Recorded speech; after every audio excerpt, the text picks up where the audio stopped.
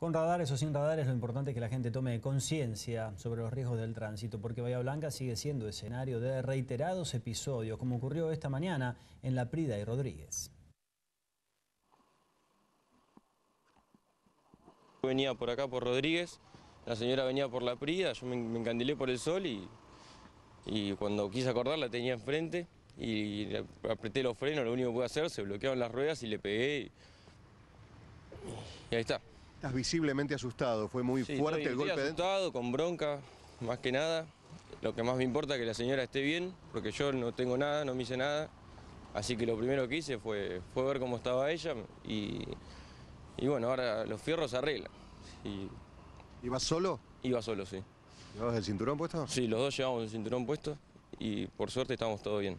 La mujer está bien, sí. La mujer está bien también. Le subió un poco la presión por el susto, que se la midieron ahí las chicas, pero, pero ahora está todo bien, por suerte. ¿Tu primer incidente de estas características? No, ya, había chocado el auto a mi hermana también, así que bastante... No, me parece que no me voy a dedicar a manejar más. ¿Este es tuyo? No, de mi mamá. tu mamá está dando vuelta acá muy preocupada. sí, está, la que está preocupada ahí es mi mamá. ¿Qué edad tenés, Julián? 22. Jovencito, bueno, para tener este tipo de experiencia, la verdad que... Bastante... y no se la recomiendo a nadie. pero las chapas, como vos dijiste, se arreglan. Sí, sí, sí, exacto.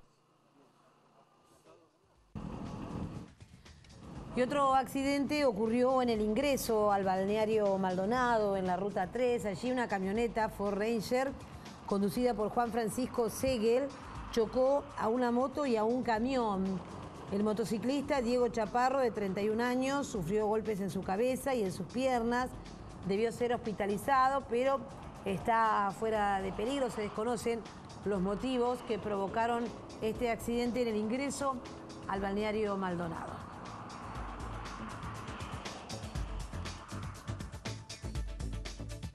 Y dos jóvenes también sufrieron politraumatismos después de protagonizar un violento accidente de tránsito.